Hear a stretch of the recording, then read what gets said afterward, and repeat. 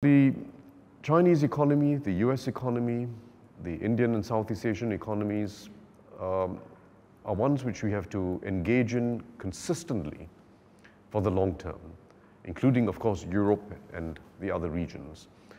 They'll go through ups and downs, and we must never be short-term players in these major economies. Uh, we've got to stay engaged, take a long-term view on our investments. Uh, China is going through a very complex uh, set of challenges, part of them partly cyclical, partly structural. Uh, I keep telling my colleagues internationally, never underestimate the complexity of the challenges that China faces. They are more complex than that faced by any other major economy. Um, and even with the best of technocratic abilities, which they have, uh, it requires a constant balancing constant facing up to the trade-offs and making careful judgments. Uh, I think China will get past uh, this period of uh, slowdown. Um, it has the capabilities, certainly, in its, um, in its government to shape policies to get past it, but it may take some time. I think there's great risk in de-risking as it is currently formulated.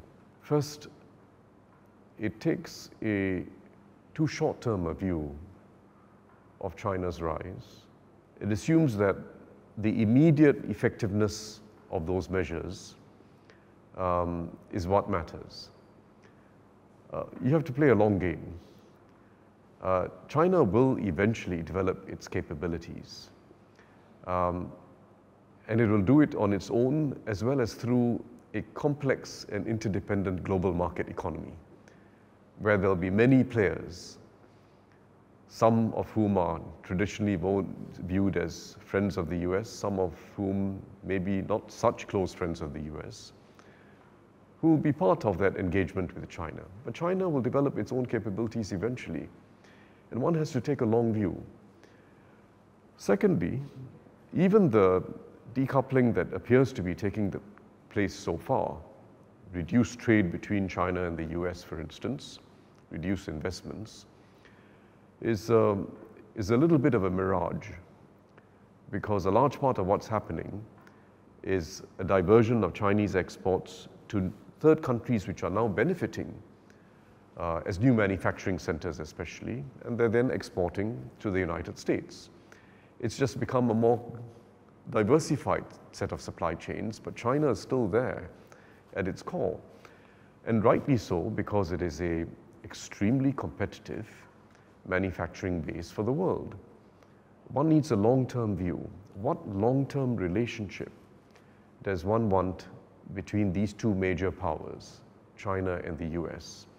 Is it a relationship of interdependence with certain very carefully prescribed constraints on that inter interdependence?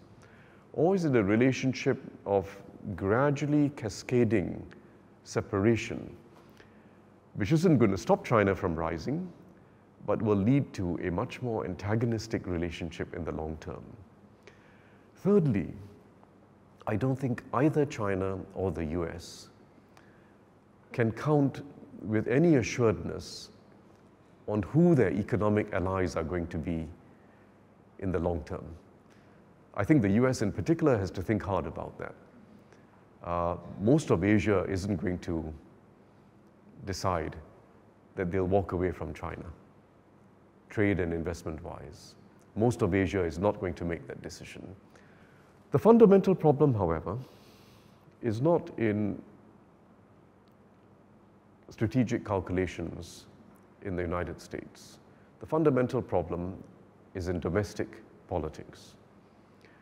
Um, there's very little incentive for either Republicans or Democrats today, including centrist Republicans and Democrats, to say, let's put a halt to this escalation of uh, economic warfare and let's roll it back.